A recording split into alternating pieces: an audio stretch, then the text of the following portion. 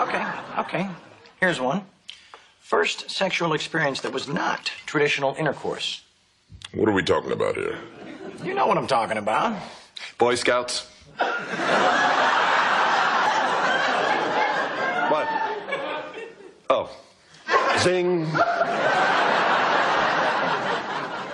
Alan, when did you first take your oral exams? I, I, I don't think I should say. Why not? I just don't. Come on, Alan. We're all friends. Who was it? Your wife. So your first time doing that was with Judith? Hey, me too. Me too.